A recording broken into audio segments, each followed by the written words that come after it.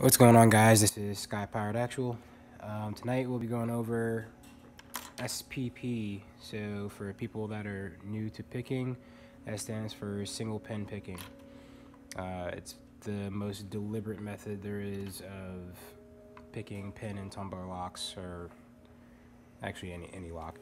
Um, so, I've gotten a few questions in my uh, inbox lately about. Uh, lack of feedback from the core. So, uh, with single pin picking or raking, uh, the biggest things you're that gets overlooked would be your tensioning. Uh, tensioning is, from what from what I understand about picking, is actually more important than picking itself. If you can't find out how to tension the uh, the plug correctly, you won't get the type of feedback you're looking for or any feedback at all. Or you'll seize the core up completely and you'll get no feedback. Uh, so uh, right now I'm gonna go through. Uh, this is just a simple 40 millimeter Chinese made laminated lock. Uh, nothing special, but we're gonna go ahead and we're gonna go through kind of slowly uh, picking this lock uh, using a single pin picking method. So I'm going to tension the core slightly. Uh, I'm going to take this uh, slim Euro hook from uh, Southern Specialties and um, basically what I'm going to do is I'm just going to go from the first pin all the way back. So I'll touch it. I see that number one is giving me absolutely no tension or, or resistance whatsoever. So I know that's not my binding pin. And go to number two. Number two is not it either. So on to number three. So three. Three is the binding pin in this order. So from there, I'm going to go ahead and I'm going to push past it to number four. And I got a small click on four. I'm to roll back to the beginning on one. I'm getting feedback on one.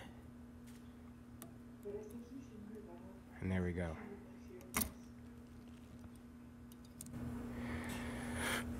Like I said, tension is the most important thing. So uh, the easiest way for beginners to learn how to tension, I'll have guys start from the hardest amount of tension, like like white knuckling it, and then pretty much testing out the pens uh, in the cylinder, and then degrading their uh, amount the amount of force on their tensioning from there, and basically just do process of elimination um, to figure out what what the, the parameters of tension for that lock is, because obviously not all locks are the same. Uh, some you can tension super hard, some you can throw an absolute ungodly amount of tension on the core and still get feedback. Um,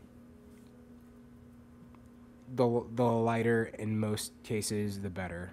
But there are definitely certain locks where you can tension quite quite a bit and still get really, really good feedback. Um, so I'm going to switch out the lock now.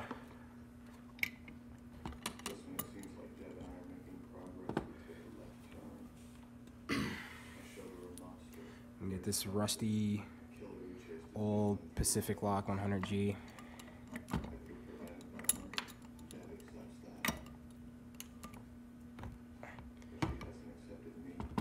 And we'll go through the exact same process for these Paclocks. I actually like to use top of the keyway tension.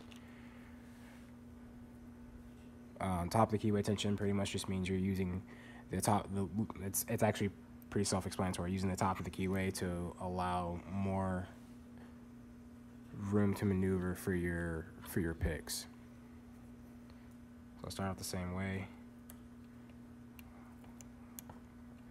Nothing on one. Little click on two. Three gave me a big click and set.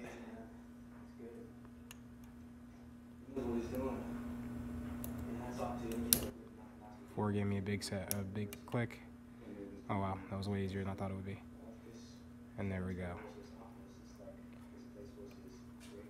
So the method works. Um, the higher up in uh, security or higher up in security these locks get, the more deliberate your method of setting the pin is going to have to be. Once you start getting into um, spools and serrated pins, serrated key and driver pins, your method of setting pins is going to have to be a little bit more deliberate, and your tensioning is going to have to be a little bit more fine tuned.